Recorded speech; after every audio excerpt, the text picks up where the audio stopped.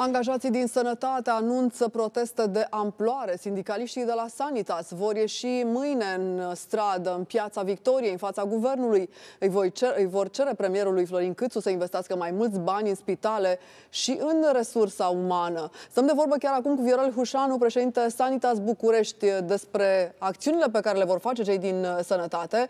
Mulțumesc foarte mult pentru intervenție. Există informații că ar putea fi inclusiv grevă în spitale, ar putea putea înceta lucrul angajații supărați în legătură cu situația creată și cu tragedia de la Matei Balș? Bună ziua! Uh, da, așa este. Am vorbit astăzi cu foarte, foarte mulți salariați din sistemul de sănătate, inclusiv cei de la Balș, cu cei de la Balș, care sincer plângeau, nu-și puteau stăpâni plânsul, pentru că nimeni dintre noi nu înțelegem ce se întâmplă. De ce guvernanții fac anchete și întotdeauna carul pe un este personal medical, asistente brancadier și așa mai departe, care în cazul Balș și nu numai sunt eroi. După părerea mea, sunt eroi. Nu trebuie să căutăm acarul pe un la, în, la personalul medical. Vinovați sunt politicienii care ani de zile, 30 de ani, nu au făcut absolut nimic. Cu toate că au fost tragedii numai anul acesta, anul trecut câte au fost, dacă vă amintiți și cazul Săpoca și așa mai departe. Și nimeni nu a făcut nimic. Din punctul meu de vedere, politicienii sunt vinovați și nu personalul medical. Ar putea fi grevă în spitale în paralel cu protestele, domnule Hușanu? Ce informații aveți dumneavoastră?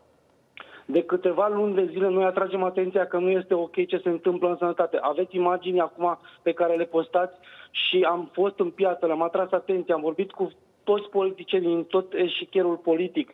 Și din păcate văd că nu s-au luat măsuri. Da, salariații mă tot sună, vor să iasă acum în stradă, vor să iasă mâine în stradă, vor să facă greve, dar noi le recomandăm să stea lângă pacienți, pentru că sperăm să rezolvăm această situație prin negociere. Ei trebuie să-și îngrijească pacienții în continuare. Acolo, acolo este rolul lor, acolo trebuie să stea. Ar trebui Sper... să-și dea demisia ministrul Vlad Voiculescu?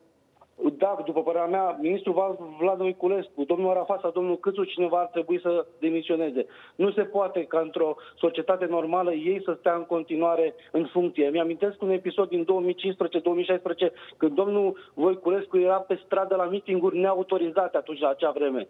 Acum, de ce nu vine alături de noi? Sau să-și dea demisia?